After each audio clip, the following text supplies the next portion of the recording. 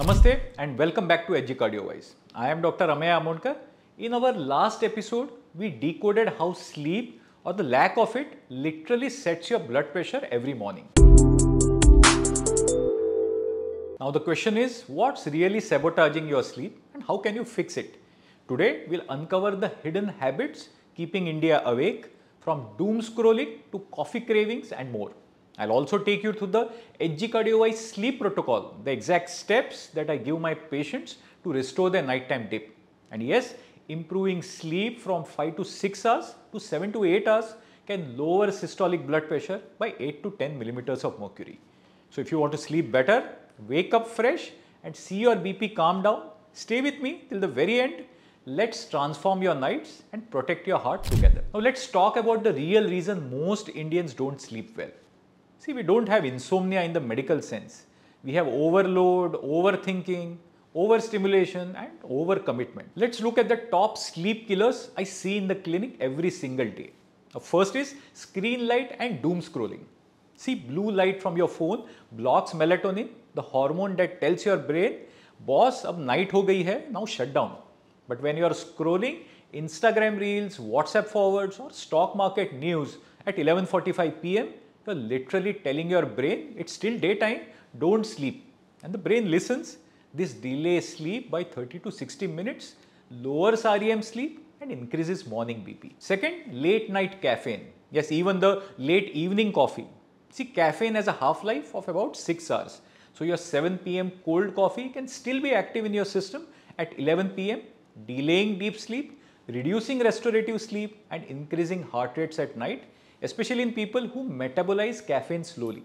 See, if it's a double shot cappuccino that you had in the cafe with your friends, there is high chance the caffeine will still linger.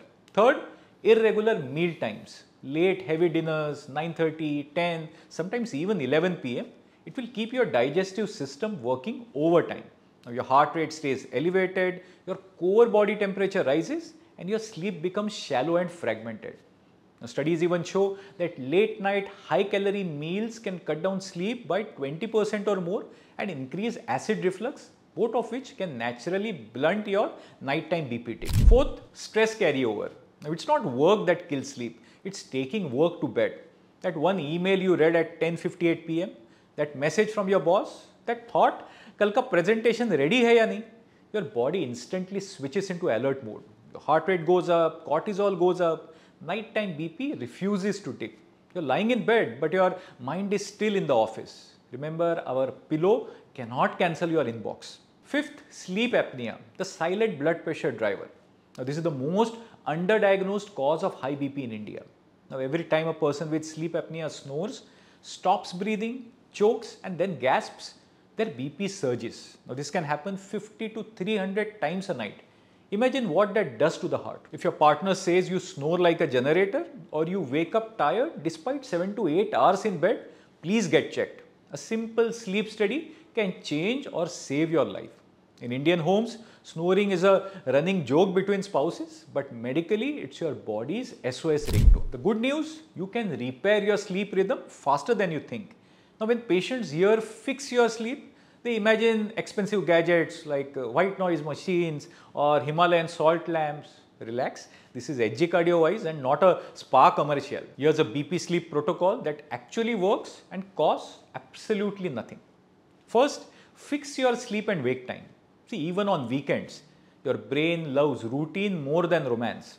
Every time you shift your bedtime by 2 hours, your circadian rhythm becomes confused it's like switching time zones even without changing cities.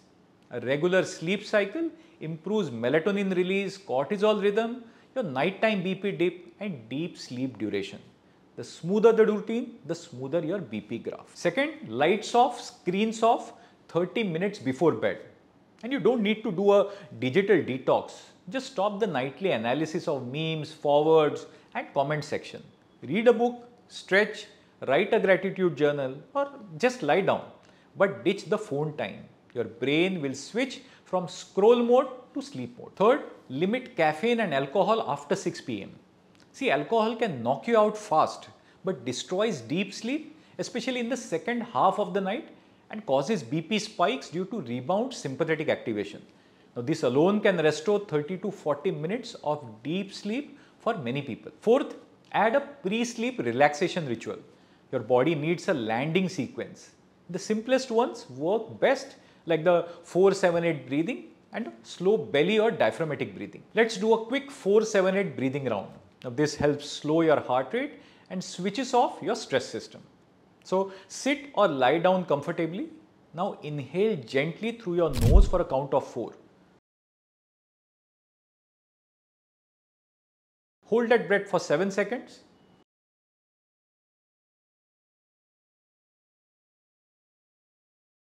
And now exhale slowly through your mouth for 8 seconds.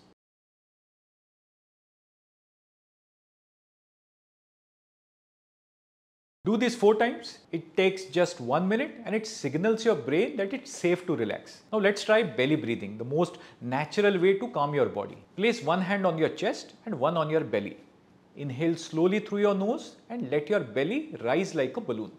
Your chest stays still. Now exhale gently through the mouth and feel the belly fall.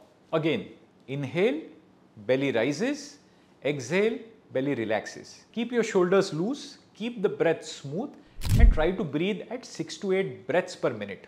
Now just 1 to 2 minutes of this can reduce your heart rate, relax arteries and help you fall asleep faster. Fifth, check for sleep apnea. Now please understand snoring is not a cute family joke.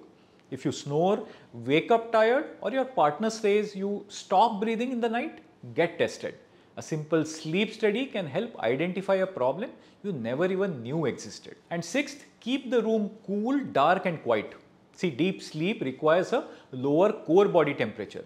Even 1 degree Celsius warmer room temperature can delay deep sleep by 15 to 20 minutes.